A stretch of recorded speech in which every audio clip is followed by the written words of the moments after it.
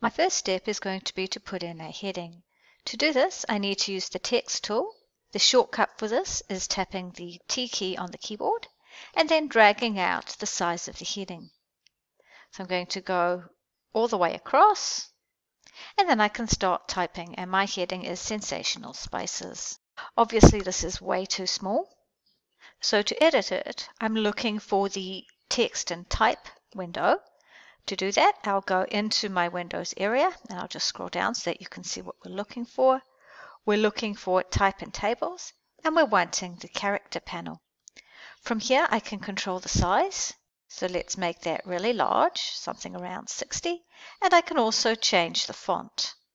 I've chosen to use Myriad Pro, bold condensed, and all uppercase. Once you've added your text, push Escape so that you're no longer editing the text in the box. Then tap Control B, and this is going to let us add some padding between the box and our text. I'm going to do that in the inset spacing area, and I'm simply going to say 10 pixels. And you'll notice that when I change the top, the left, bottom, and right changed as well, and that's because this little chain is linked together, and I can go OK. If you want to get the box to fit your text exactly, you can go Control Alt C.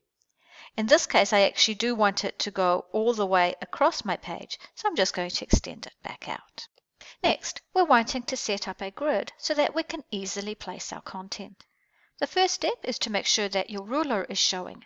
Please push Ctrl R if you don't see the ruler and then you can drag a guide down so that it exactly lines up with the bottom of the text box we've just made.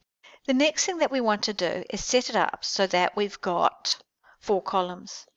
To do that, we're going to go into the layout area, choose margins and columns, and we're wanting to choose four columns.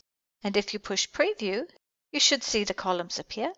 If you're not sure what the gutter does, feel free to edit this and you'll notice that my gutter is getting smaller or larger. I'm going to leave my gutter at the default and push OK.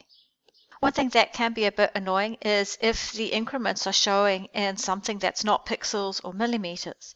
To fix this, you can go Control K and in the units and increments area, you can change it from picas, which doesn't actually help us, to either millimeters, centimeters, or pixels, depending on what you want.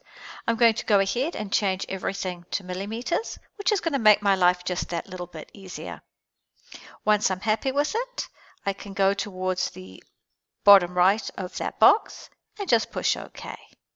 And now if we revisit our margins and columns area, we can see that everything is in millimeters and that gutter we chose before happens to be 4.233 millimeters. In the next video, I'm going to show you how you can set up the rows that we need so that when we lay out the poster, everything looks amazing.